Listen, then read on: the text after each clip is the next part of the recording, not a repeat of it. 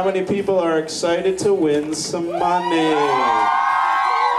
Deal or no deal, purchase style. In each of these cases, cold, hard cash. And who wouldn't take a chance on that? 16, we have $150. Oh. oh, picking an X.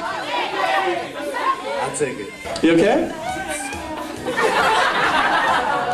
Cash Attack was the brainchild of Rebecca Snyder. She coordinated the Welcome Back Week event for Student Life. The game, it's actually a combination of two game shows, uh, Deal or No Deal and Let's Make a Deal.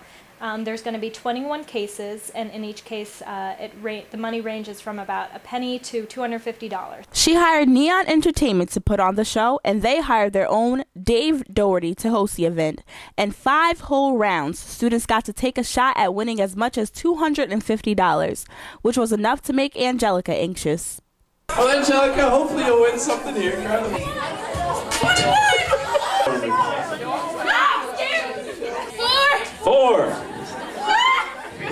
I'm getting frightened for you.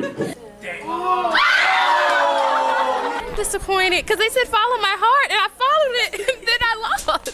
I never win anything and I still haven't won anything, but you know, I'm gonna keep trying and keep hope alive. Some students walked away from the game show with 10, 20, and even $40 in cash prizes.